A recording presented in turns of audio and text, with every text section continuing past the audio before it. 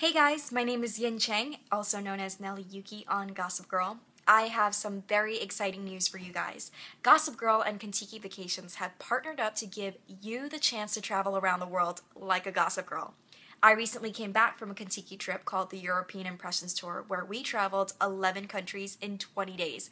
It was amazing. Some of my favorite countries were Switzerland, Spain, Italy, and of course, France.